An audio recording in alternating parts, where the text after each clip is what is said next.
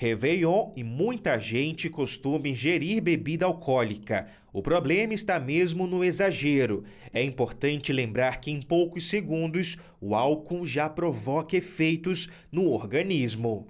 E a moderação é o segredo é, que a gente precisa é, colocar em voga, porque há uma necessidade da gente ter um cuidado em relação a isso daí. A famosa ressaca está diretamente ligada à quantidade de bebida alcoólica que você ingere. Os destilados, por exemplo, têm 40% do teor alcoólico, a cerveja 5%. Imagine só misturar tudo isso, o corpo não aguenta. É por isso que especialistas alertam que você deve se hidratar, tomando principalmente bastante água. E de acordo com o médico cardiologista, a mistura de energético com destilado pode causar riscos mais graves à saúde. A pessoa fica mais taquicárdica, o coração fica mais acelerado e também pode desenvolver crises de hipertensão.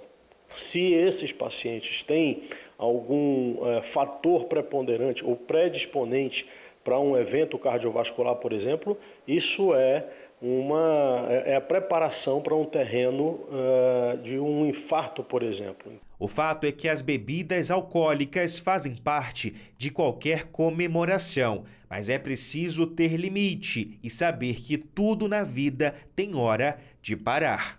A hidratação é essencial. Geralmente as pessoas que estão bebendo e exagerando na bebida esquecem da hidratação, mas ela é essencial para reduzir os efeitos é, da ressaca, para reduzir os efeitos do excesso de álcool ou mesmo da bebida energética.